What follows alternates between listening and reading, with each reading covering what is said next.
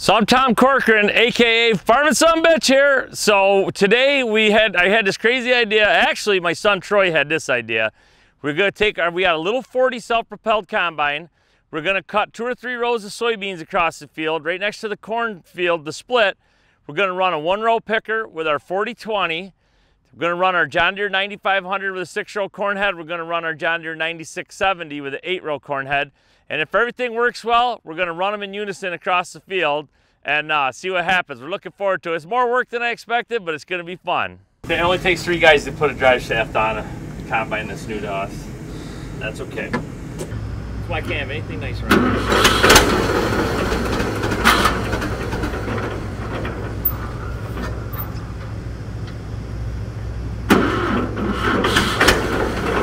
Thing we gotta shut off to get the damn uh, picker engaged. Yeah, honky, that's convenient. Doop, doop, doop. As long as Ronnie doesn't longer than Oh, where'd you go? He's just up for run.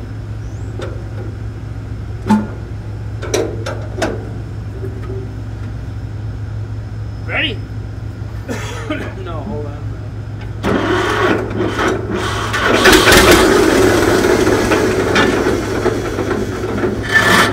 Oops, that was me that time.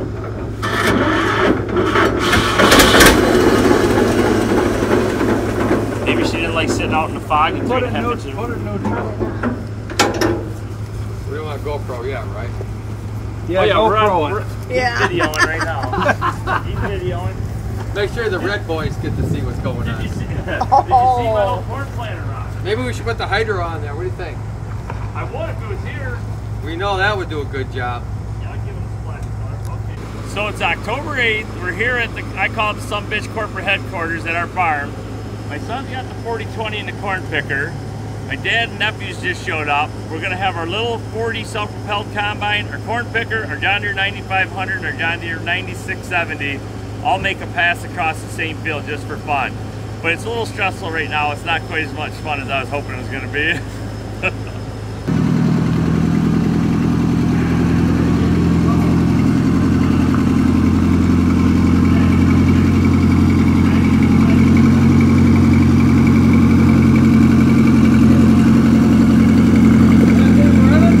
What's that? We're we're just toast starting it. Get toast started here in a minute. Let me jump the clutch. You look good on there. Uh-oh, Troy can't get the old tractor